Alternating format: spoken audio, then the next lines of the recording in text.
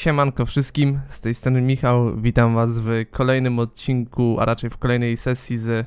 Harry, Charms class is on the second floor. I'll meet you there. I'm going to check another book later. Notable magical names of our time. Might have some mention of Flamel. Zagrajmy w Harry Potter i Kamień Filozoficzny na PlayStation 2. Em, no i co? No i co, moi kochani? Powiedzcie mi, no i co? Poprzednim razem, w poprzedniej sesji nauczyliśmy się czaru Diffindo. Mieliśmy oczywiście walkę z po raz kolejny z tymi duchami. Mieliśmy z duchami wilków oraz walczyliśmy z trolem w dziewczęcej łazience albo w łazience dla dziewczyn. I teraz, zanim polecimy na lekcję obrony przed...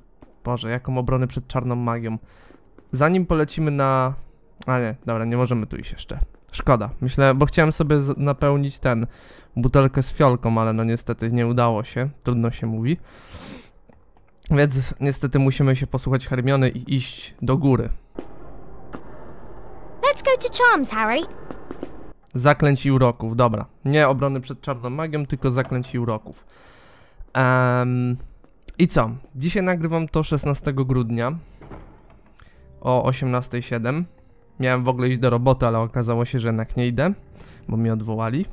Więc z tej okazji mam zamiar wykorzystać i dzisiaj jak najwięcej Harry'ego Pottera też przejść, tak jak ostatnio Ape Escape, tylko mam nadzieję, że tutaj klątwa Mario 64 nie wpłynie na mnie, bo troszeczkę będę zły, jeżeli tak się stanie. I co więcej, no, tr- troszeczkę mam takie déjà vu w momencie, kiedy się z wami przywitałem, bo pamiętam jak w Harrym Potterze i Więzienia z Kabanu e, postacie również mi przywitały moje e, przywitanie. No i tutaj mam, że tak powiem, powtórkę sprzed 4 lat. Zresztą, jak chcecie, to tu macie klip.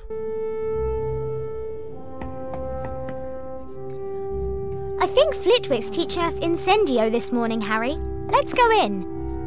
Okej, profesor Flitwick będzie nas uczył dzisiaj ostatniego czaru w grze, bo tak, coś wam muszę pokazać, tylko to trzeba było selektem robić. Jak widzicie, mamy tutaj jakby dostępne czary i ogólnie miejsce na czary to jest właśnie 6 takich slotów. Widzicie co to oznacza? Tu nam będzie ostatniego brakować. Ciekawe co to będzie za czar, bo w ogóle w gierce mało się mówi o Wingardium Leviosa. Więc podejrzewam, że to będzie Wingardium Leviosa. A dobra, tu możemy się wymieniać za te karty. Okej, lekcja, a raczej klasa 2E, zaklęcie i uroki. To w ogóle jest bardzo śmieszna ciekawostka, ponieważ to oczywiście również Sebulba o tym wspomniał, więc nie mogę oczywiście tutaj tego mu odjąć. Jako pierwszy zresztą, bo on jako pierwszy tutaj w Polsce zrobił taki pełnoprawny let's play z wersji na PS2. Chyba, bo coś mi się przypomina, że ktoś chyba był jeszcze, ale wydaje mi się, że tak najbardziej zapamiętałem właśnie jego let's play, bo sobie go oglądałem. To mm, pamiętam, że on tutaj właśnie żartobliwie lub po prostu nie żartobliwie, ale wspomniał o tym, że e, to jest pierwszy raz taka sytuacja, że jakby idziemy na lekcję do tej samej klasy dwa razy. No, również o tym wspomnę, ponieważ czemu nie. Please find a seat, students. Good morning, class. Today's lesson will most assuredly involve learning how to cast the appositely named Bluebell Flames. The proper incantation for this charm is Incendio. Once you have managed to collect the Incendio spellbook, the Incendio charm will be yours. You must then return here to the classroom. In here, Harry.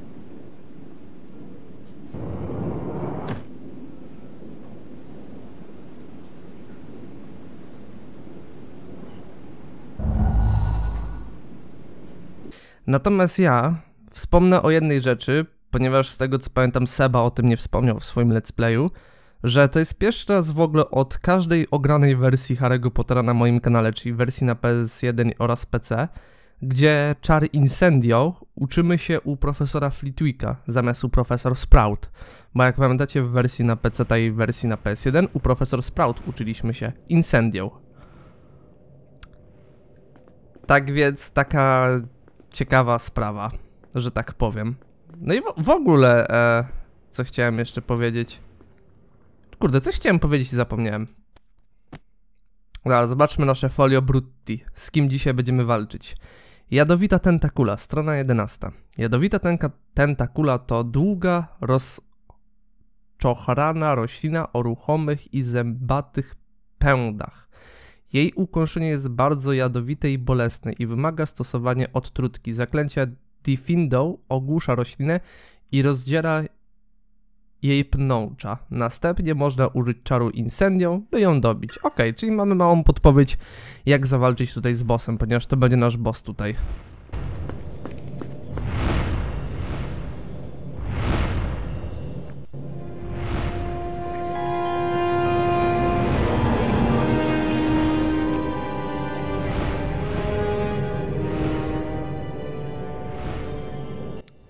W ogóle to, jest naprawdę wow.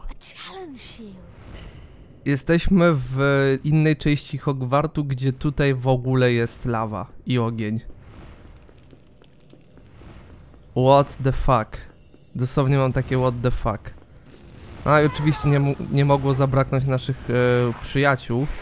W cudzysłowie oczywiście, czyli naszych tutaj ognistych krabów. Którzy, które również tutaj są. Dosłownie, już wiem e, skąd więzień Azkabanu na peceta za, zaczerp, za, zaczerpnął wygląd tych ognistych, ognistych krabów. Wziął sobie ten wygląd oczywiście z wersji pecetowej kamienia filozoficznego na PS2. E, tfu, wersji... Wziął sobie...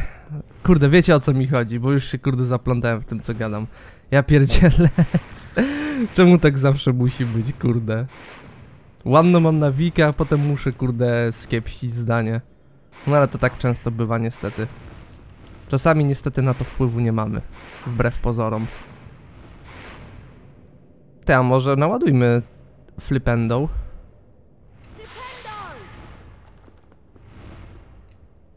Wydaje mi się, mogę się oczywiście mylić, ale wydaje mi się, że musimy no właśnie pozbyć się tego ognistego kraba.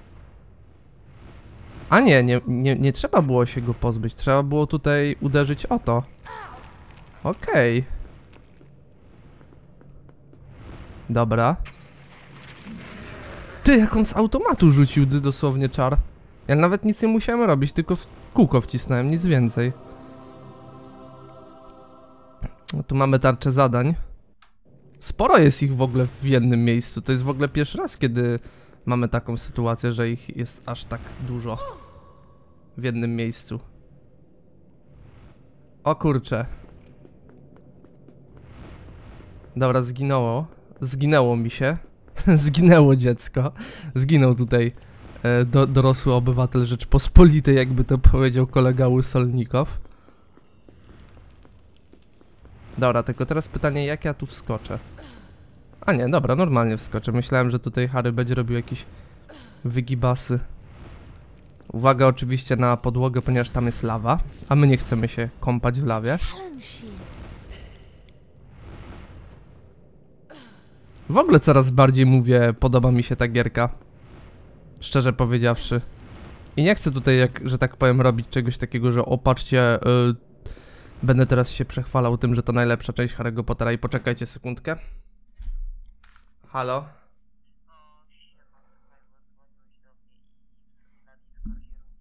E, ju- jutro pogadamy, dobra? Bo teraz nagrywam.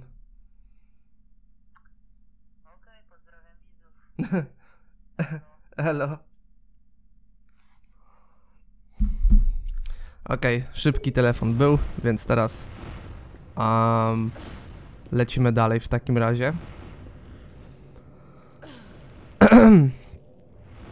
Ale nie, wracając do tematu, to mówię, nie, chcę być osobą, która na każdym kroku będzie wychwalała wersję na PS2, ponieważ, no mówię, tak, ta wersja również ma swoje problemy, ale w przeciwieństwie do poprzednich wersji Kamienia Filozoficznego, to ta gra przynajmniej nie była robiona na szybko, tylko faktycznie twórcy, którzy zabierali się za tę oto część, to przynajmniej wiecie, w jakiś sposób fajnie podeszli do sprawy. Ja nie mówię, że poprzedni nie, nie podeszli, ale.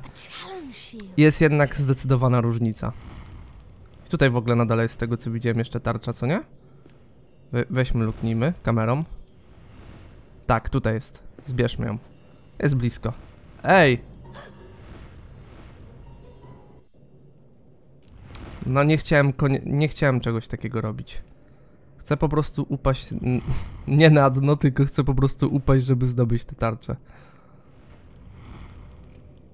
Tylko pytanie teraz, gdzie ona jest? Z której strony? A, z tamtej strony, dobra, chyba. To nie? Z tej strony? Nie? To skąd? Dobra, tu, tutaj była.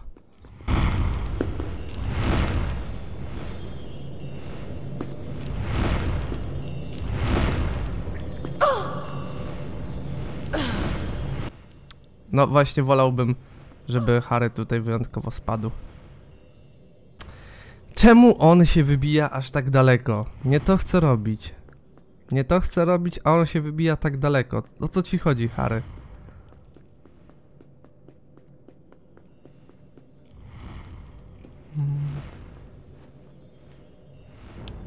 Znowu to samo. Kurde.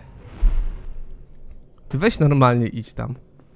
A bo dobra, w sumie walić to, bo niepotrzebnie czas tracę. Skupmy się na razie na mm, rzeczach ważnych.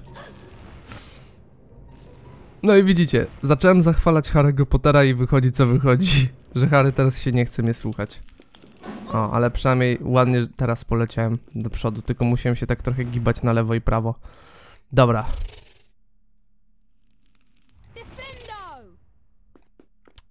Oczywiście musimy teraz jeszcze naszą różdżkę tutaj przygotować na to.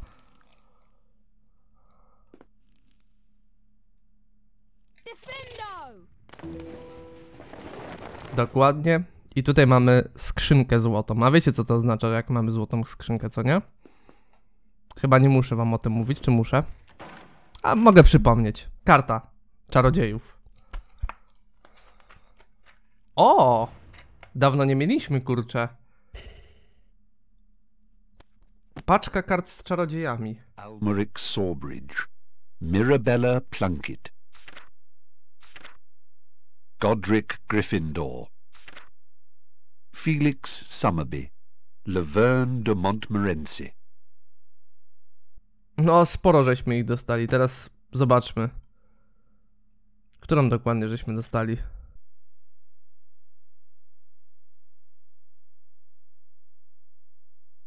Andros the Invincible, ancient Greek, alleged to have been the only known wizard to produce a Patronus the size of a giant. Merwin the Malicious, medieval, dates unknown, credited with the invention of many unpleasant jinxes and hexes. Herpo the Foul, ancient Greek, first known creator of the basilisk. O, tutaj puszczenie oczka do komnaty tajemnic. Wiecie o co chodzi, bazyliszek. Myślę, że wiecie o kogo chodzi. Mirabella Plunkett, A to już ten było. Archibald Alderton, 1568 to 1623, famous for blowing up the hamlet of Little Dropping in Hampshire whilst attempting to magically mix a birthday cake. Dobra, zobaczmy dalej, zobaczmy, zobaczmy. Dobra, to już też było. Mus, muszę się, wiecie, upewnić mimo co, bo troszeczkę mnie to nurtuje. Salazar było. Slytherin, medieval. Felix Summerby, Gaspard Shingleton, 1959 to the present, celebrated inventor of the self-stirring cauldron. Gregory the Smarmy, medieval, dates unknown, famous originator of Gregory's unctuous unction, potion to persuade the drinker that the giver is their very best friend, alleged to have wormed his way into King Richard's confidence and thus made his fortune. Hmm, Grzegorz Przymilny. Laverne de Montmorency, 1823 to 1893, inventor of many love potions.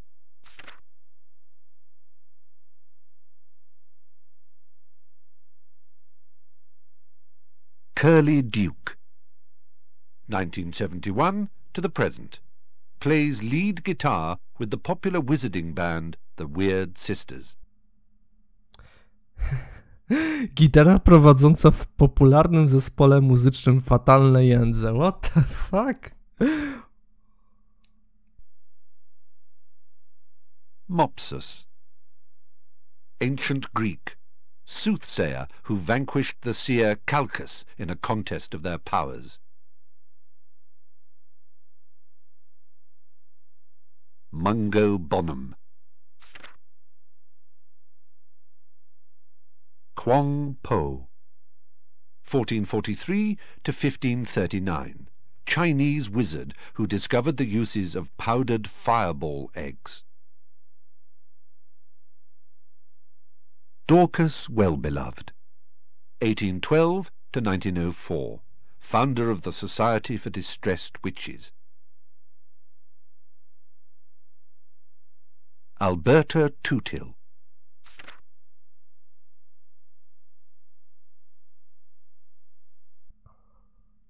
To też było. Aha, i tyle, dobra. Troszeczkę żeśmy sobie tutaj posiedzieli nad tym e, folio. Kurde, nie na folio brutti, tylko na. em, folio magii. Ale teraz wróćmy do gierki i użyjmy po raz kolejny tutaj. E, Diffindo. Ponieważ coś tutaj też mamy. Aha, tutaj nic nie mamy z kolei. Ale nas gra strollowała. O kurde. No boki zrywać, że tak powiem, dla twórców. Nie powiem, że nie. Boki zrywać. I co teraz musimy zrobić? Obróćmy kamerę. Tutaj się chyba nie da w taki sposób. Więc zobaczmy. E, tu nic nie ma, tu też nic nie ma. Tu też nic nie ma. Tutaj tym bardziej nic nie ma. Więc szukamy teraz e, dojścia do góry. Ha! Tu chyba coś będzie. Dokładnie. Widzicie? Trzeba niestety sobie odkrywać tak tereny. Shield. Przy okazji tarczę zadania mamy już czwartą. A, i byś, musimy teraz z tego e, ducha, wiadomo, wypędzić. Umieraj, frajerze. Idź tam, gdzie jest twoje miejsce. A cauldron cake. O, kociołkowy piegusek, nic więcej.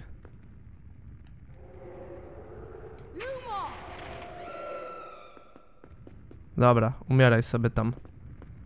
Swoje Nibylandii. Okej, więc tutaj mieliśmy tylko tyle. Więc teraz zobaczmy, czy czasem tutaj nigdzie przejścia nie ma.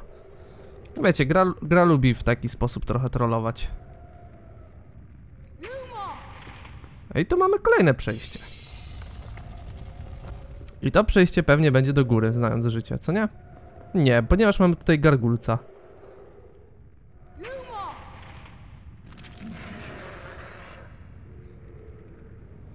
Te gargulce naprawdę ładnie wyglądają w przeciwieństwie do wersji e, PC-towej, g- gdzie one trochę takie szkarłatne były.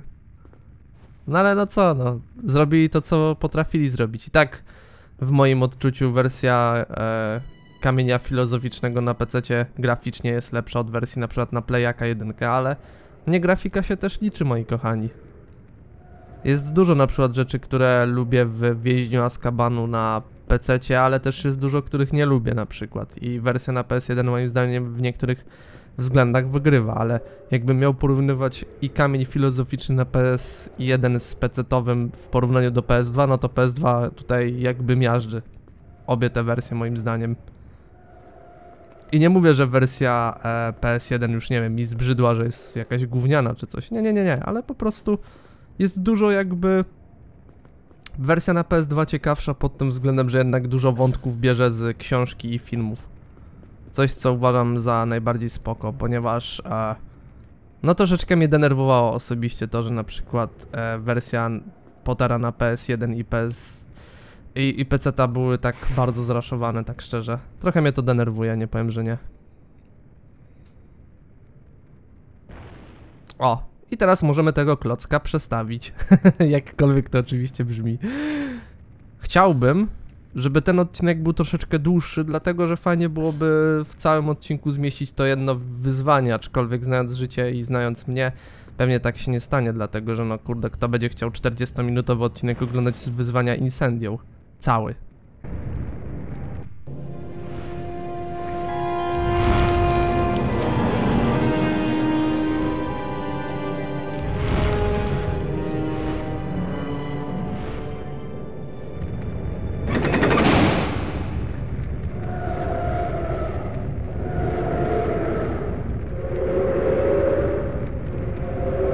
Ja to jestem jednak, kurde... Nostradamus, bo byłem w stanie przewidzieć, kurde, to, że będziemy znowu walczyli z tymi duchami. Może i tego wprost nie powiedziałem, ale wiedziałem, że tak się stanie.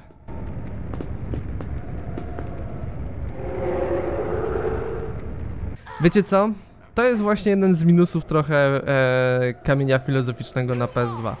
Lubię bardzo tę część, bo uważam, że ona w, w przeciwieństwie do pozostałych wersji, przynajmniej nas tutaj raczej jakimś boss fightem, że jakby mamy jakichś przeciwników, e, w przeciwieństwie na przykład do wersji na e, PS1, gdzie na przykład naszymi jedynymi przeciwnikami, to nie licząc posągu e, prosiaka, to jeszcze był Malfoy. W zasadzie i Lord, wiadomo, ten, którego imienia nie wolno wymawiać, mimo że już znacie jego imię od dwóch wersji Harry'ego Pottera. Tak więc, no śmiesznie, nie powiem, że nie. A, i oczywiście zginąłem, ponieważ miałem za mało HP.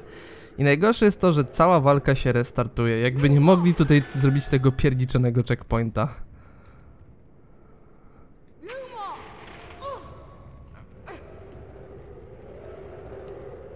Ja mówię, ja w wielu kwestiach też jestem w stanie skrytykować tę wersję, ponieważ na przykład kamera osobiście mnie często drażni w tej gierce, ponieważ e, nie tyle co jest może zdradziecka, co jeszcze po prostu nie zawsze chce z tobą współpracować, tak jak ty chcesz.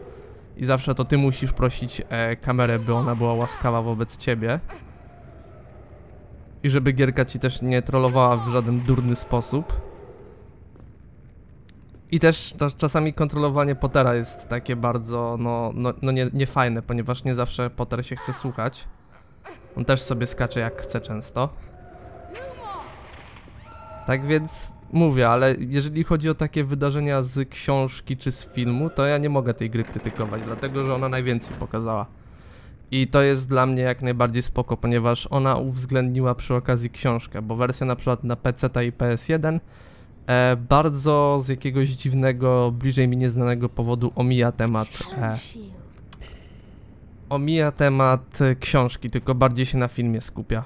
Chyba, że ja coś poknociłem, no to wtedy możecie mi oczywiście poprawić, ale z tego co się orientuję, to ta wersja jest najbardziej wiarygodna, ponieważ to jest remake przygód Harego. I dobra, i kończymy tutaj ten temat, ponieważ się za bardzo rozgadałem. Dobra, kolce z tej strony już się obniżyły, aczkolwiek żeby obniżyć pozostałe kolce, no to jak wiemy musimy iść w dalsze tutaj korytarze. Więc następnym korytarzem będzie ten korytarz. Czemu tak wybrałem? Ponieważ tak wybrałem już, to jest mój wybór. Chyba, że tutaj już byłem, ale wątpię w to.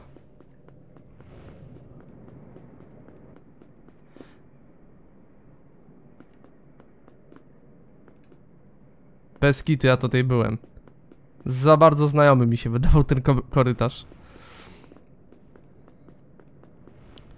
Wiecie co? A będę taki, w sumie se zapiszę. Co mi szkodzi?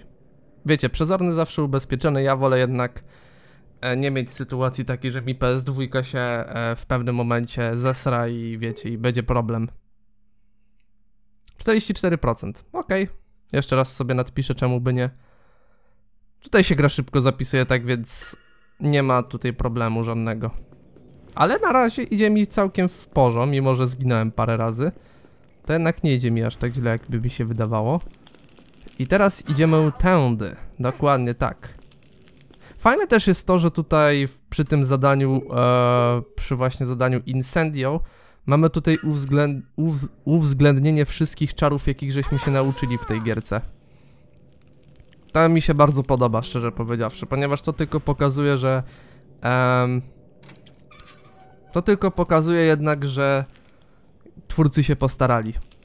Bo czegoś takiego nie było w wersjach poprzednich. Znaczy, może i było, ale nie było to aż tak widoczne jak tutaj. Przynajmniej mi się tak wydaje. O, i mamy kolejną skrzynkę. I kolejna karta będzie czarodziejów. Dzisiaj to mamy szczęście do tych kart. Jeszcze większe. Kogo tym razem? To jest bardzo dobre pytanie. Kogo tym razem uda nam się ten wziąć? Xavier Rastrick, 1750 to 1836.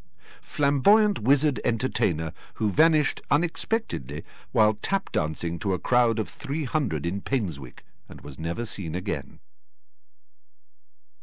Kurde, Xavery Rastrick to zmarł w wieku, w wieku e, ten, w sensie zmarł w momencie, kiedy miał 86 lat. No kurde, no to jeszcze taki młody dziadek.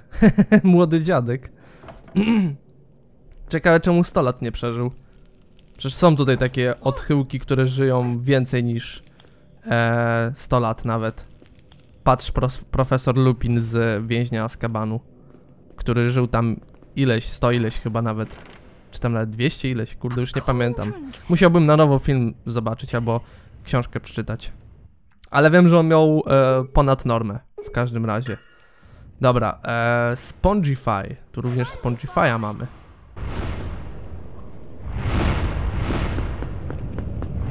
I mamy oczywiście tutaj również te, te takie a, no, ognie, które sobie ude uderzają do góry. Dobra, ale gdzie tym Spongify'em się dostaniemy tak by the way? On jest skierowany w tamtą stronę, czyli sugeruje jakbyśmy tam mieli skakać. No ale właśnie tutaj nic nie ma. Więc musimy skakać w lewo, bo tam jest jedyna platforma, bo mówię, to zaklęcie Spongify jest skierowane tak w lewą stronę, że miałem przez chwilę właśnie wrażenie, że mamy skakać właśnie w... E, w lewą stronę, teraz w prawo, bo stoję jakby tyłem.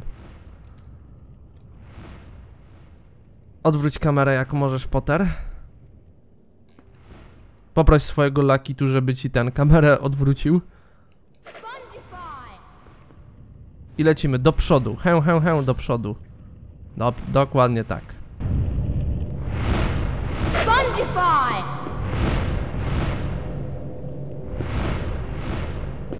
A, i teraz musimy się do krawędzi zbliżyć. Kurde, trochę słabo, bo patrzcie jaka tutaj jest delikatna ten. Delikatna krawędź.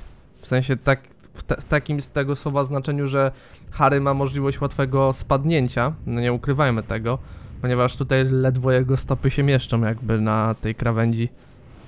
Tak więc, cóż. Najwidoczniej tak musi być. I znowu Spongify. A, tylko teraz wyżej musimy... Kurde. Nie! Nie! no naj... Ej, czekajcie, ej, jesteśmy u góry. O kurde, gierka mi tutaj checkpointa zrobiła. Ej, fajnie, podoba mi się to. Dobra, to, to jest wygrana śmierć teraz. To, to jest, moi drodzy, wygrana śmierć. To nie jest jakby ta taka najgorsza, tylko taka właśnie najlepsza. Bo gra tutaj chyba z litości dała mi checkpointa stwierdziła, że no dobra, już tam pomidor nie ma co się tutaj ten triggerować, ziomblu, e, dasz radę, wierzymy w ciebie. Skończysz kurde tę gierkę jeszcze przed końcem 2020. Nie, akurat w to wierzę, że uda mi się skończyć, więc spoko. Ciasteczko dyniowe, no troszeczkę nas tutaj wyleczyło, nie powiem, że nie.